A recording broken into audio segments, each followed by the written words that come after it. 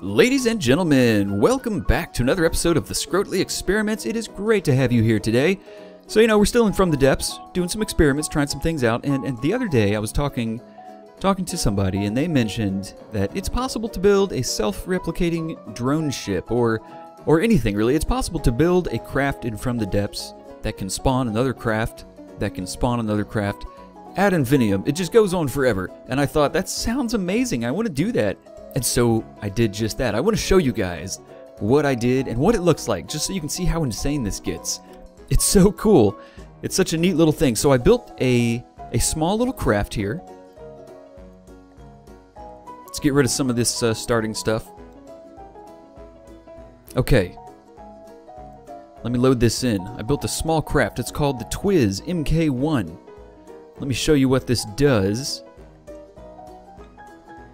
or let's take a look at it. So, it's a self-spawning drone ship. It is 67 blocks, has a large missile on the front, uh, it's got jet engines on the back, and here's what it does. It has a uh, blueprint spawner that's going to attempt to spawn itself uh, a maximum of 10 times, and we have an ACB in place that uh, activates every 20 seconds to construct, do the constructible spawners to spawn the default vehicle, which is the Twiz. So you can see here right now, it's already building another copy of itself.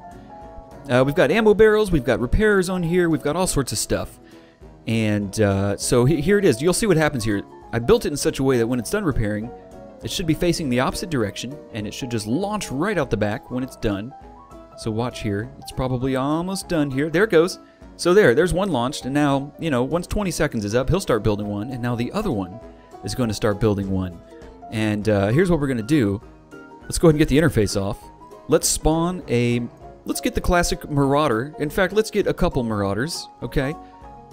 And I think what we're going to do is I'm just going to be quiet and we're going to do like some fast motion and we're just going to watch as these guys replicate themselves and we're going to see how crazy it gets. So you guys sit sit tight, grab yourself a drink, and uh, enjoy the show. Here we go.